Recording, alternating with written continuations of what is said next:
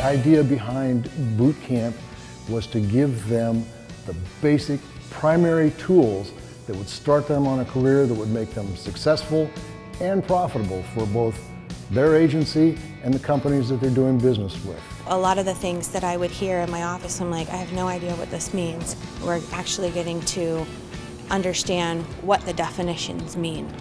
I graduated from University of Georgia, the risk management program. The biggest difference is the, the case studies. Two senior underwriters come in and they both walked through a risk from start to finish on how they would look at it. That was really helpful. I'm a more informed, more knowledgeable person when it comes to the craft discipline of underwriting than I was a week before. We're doing the harder to place risks, so you have to really be able to customize. And I definitely feel like I will be able to serve our customers better because of this.